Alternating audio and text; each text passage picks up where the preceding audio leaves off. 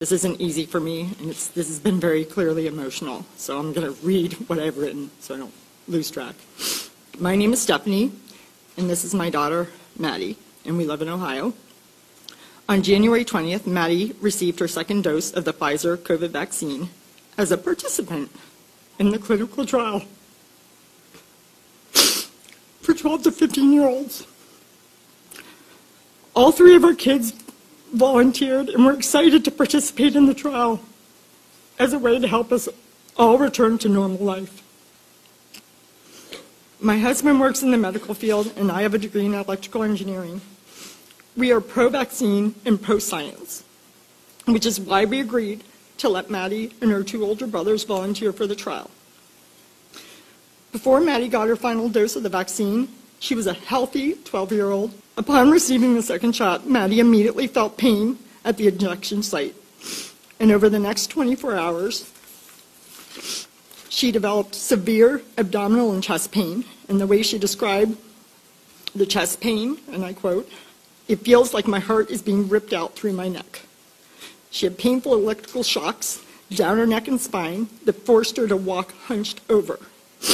She had extreme pain in her fingers and toes.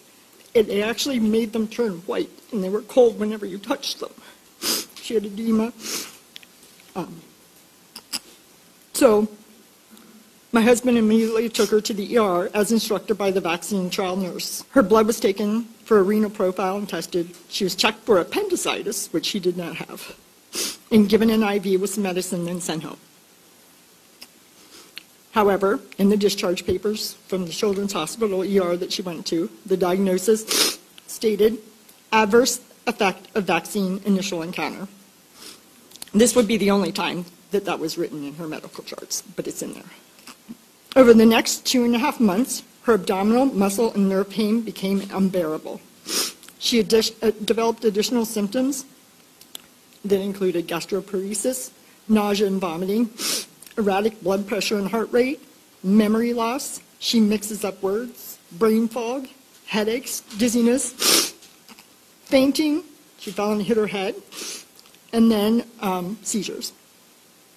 She had verbal. She developed verbal and motor tics she had loss of feeling from the waist down and muscle weakness, drastic changes in her vision, urinary retention and loss of bladder control, severely irregular and heavy menstrual cycles, and eventually she had to have an NG tube put in to get nutrition. Because they couldn't figure it out, one physician labeled, labeled her as having functional neurologic disorder, saying it was due to anxiety. This concerned us and we didn't agree with it because she doesn't have the anxiety. Look at her. I mean, what 13 year old can sit here calmly, okay? If they have anxiety or mental issues. At one point, they even tried to admit her to a mental hospital. What I want to ask, um, Maddie volunteered for the Pfizer trial. Why? Why aren't they researching her to figure out why this happened? So other people don't have to go through this. Instead, they're just saying it's mental. If anybody's mental, it's me. All we want is for Maddie to be seen, heard, and believed because she has not been. And we want her to get the care that she desperately needs so that she can go back to normal. Why is she not back to normal? I want to be clear at the outset uh, to a person we are all pro vaccine. Just because the vaccine is generally safe doesn't mean that it's 100% safe. Ron Johnson has been suspended from YouTube. Johnson is Johnson blocked is for blocked a, for a week over remarks promoting unproven coronavirus treatments.